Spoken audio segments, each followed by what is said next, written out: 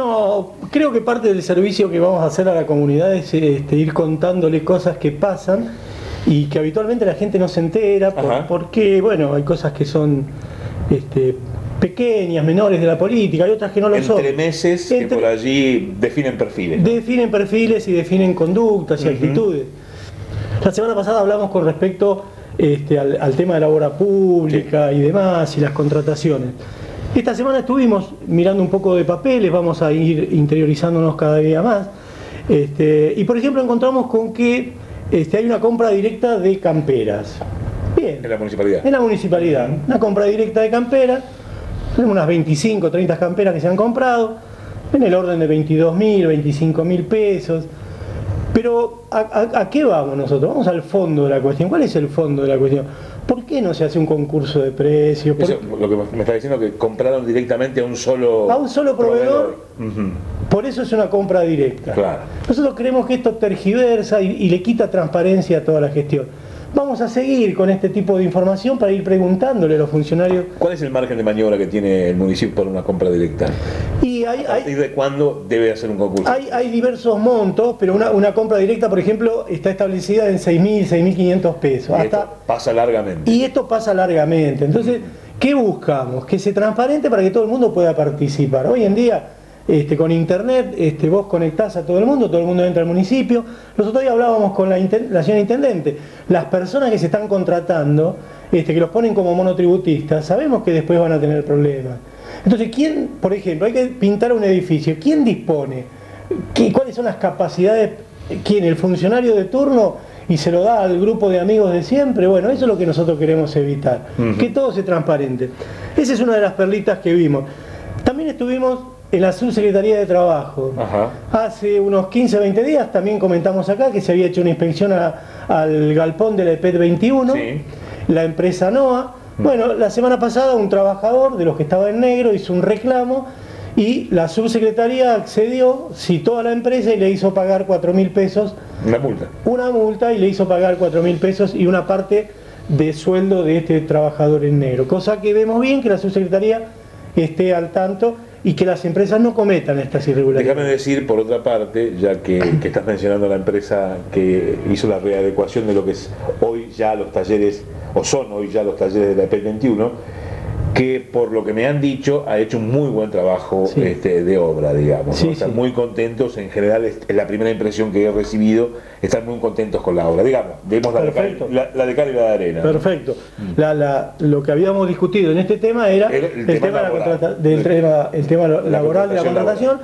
Y lo que fue en su momento una adjudicación directa también de 770 mil pesos, de una suma Importante. considerable, importante, que la, que la, pono- que la pone y la, la entrega a la provincia.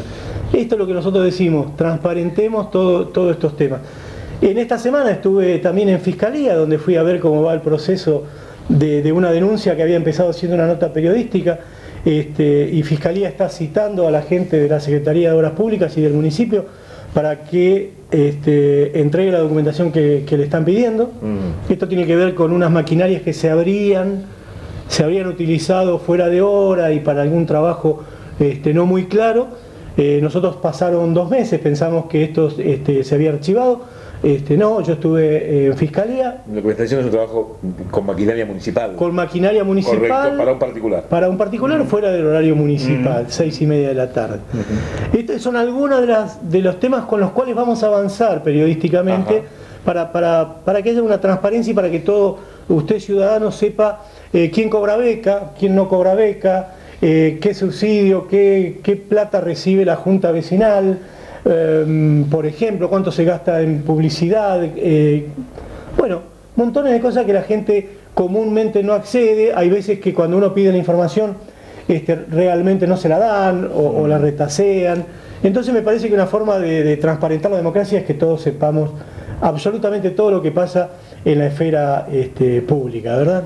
Yo quería comentar, este, eh, Guillermo, si me permitís, he estado hablando con Juan Carlos Fernández, el, el intendente electo de la ciudad, y ha comprometido lo que más o menos ya había planteado la campaña, esto no es novedad, pero sí le agregó elementos que tienen que ver con eh, diseñar una política muy fuerte en materia de viviendas eh, y en materia fundamentalmente de adquisición de tierras.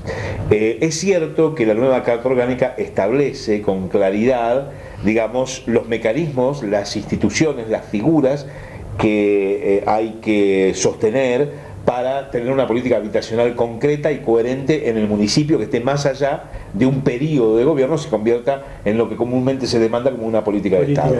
Eh, esto tiene que ver con este, el Banco de Tierras, tiene que ver con el Instituto de la Vivienda, que van de, alguna manera a articular la política de vivienda de este gobierno, del que viene y de los próximos, digamos, porque esos institutos están creados por la Carta Orgánica. Pero lo que piensa Juan Carlos Fernández imprimir como eh, aspecto propio de la gestión tiene que ver con buscar alternativas, opciones de financiamiento para segmentos de mercado habitacional, digamos, que quedan afuera de lo que son las viviendas sociales, porque tienen una capacidad de recurso que está por encima, por allí, de los límites de lo más este, perentorio y urgente en materia de viviendas sociales, pero que no alcanzan al crédito hipotecario, es decir, que están fuera de crédito hipotecario por una cuestión de ingresos. Entonces, Fernández, a mí me parece que con buen criterio está diciendo, bueno, vamos a tratar de darle respuesta a esa gente con algún tipo de asociación en cooperativas, asociaciones de vecinos eh, por eh, aspectos que tienen que ver con un mismo, una misma actividad laboral, este, eh, profesionales, etcétera, etcétera. Bueno, es una alternativa que tiene que ver con uno de los graves problemas que tiene San Martín de los Andes habría que decir en esto que tiene, la Argentina, que tiene la Argentina, pero San Martín de los Andes es nuestro pequeño universo, nuestra pequeña aldea, así que nos ocupamos de ella, que tiene que ver precisamente con los problemas habitacionales, con la falta de espacio, eh, con la falta de viviendas y la falta de espacio para la construcción de vivienda. Y aquí, déjame agregar un dato eh, en tono de reflexión, Guillermo. No es cierto que no haya tierra. Tierra hay muchísima. Lo que ocurre es que esa tierra está concentrada en pocas manos. Exacto. Y lo que hay que hacer es procurar una política que permita este, de alguna manera generar nuevos loteos, permita generar adquisición de tierras por parte del municipio a un precio razonable, es decir, que permita una mejor distribución de la tierra. Meterse en eso es meterse en un tema complicado, en un tema que tiene aspectos legales complejos, pero que es un tema que en algún momento va a haber que abordar, ¿no? porque la situación, ojalá que nunca ocurra, y, desde luego que a la distancia eh, podemos cometer nosotros eh, errores gruesos de, apreciación, porque no tenemos toda la información, pero lo que ha ocurrido en Jujuy es una muestra evidente de la fuerte presión de sectores más desprotegidos respecto a la necesidad de tierra para este, para, acceder, a la, vivienda. Y en el caso de Jujuy, casi te diría que es un caso paradigmático porque la tierra está hiperconcentrada, no solamente concentrada eh, en, el caso del Edesma. De manera tal que eh, me parece que este es un tópico que va a ser una de las políticas centrales del próximo gobierno municipal.